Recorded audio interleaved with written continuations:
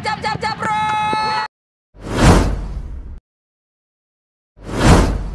Hai, jumpa lagi dengan Star Football, tempat berkumpulnya bintang-bintang lapangan hijau. Karma adalah kenyataan yang harus diterima semua orang, entah itu karma baik maupun karma buruk.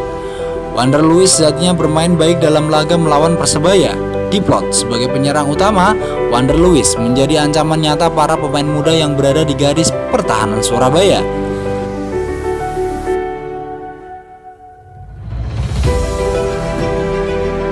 Satu gol berhasil dia lesakan ke gawang Satria Tama di menit-menit awal babak pertama. Menerima umpan dari Freds Butuan tanpa kesulitan Wander Lewis mengkonversinya menjadi gol.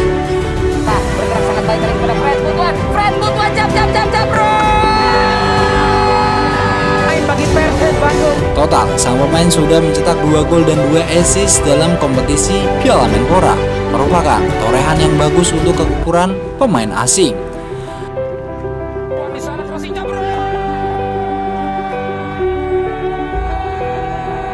Di laga melawan Persebaya selain mencetak gol, Wander Lewis juga mampu membuat Satria Tama diusir wasit karena aksinya saat one on one ketika melakukan serangan balik cepat.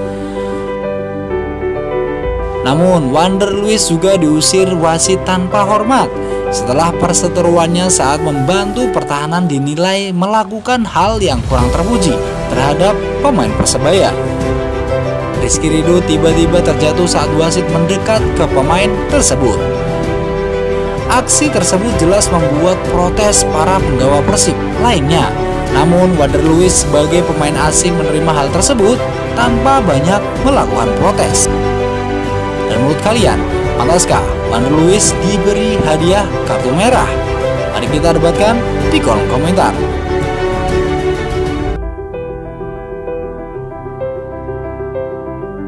Jika kalian suka dengan konten ini jangan lupa untuk klik tombol subscribe lalu nyalakan loncengnya agar kalian tidak ketinggalan informasi update dari tim Star Football. Oke, okay, thank you and see you next time.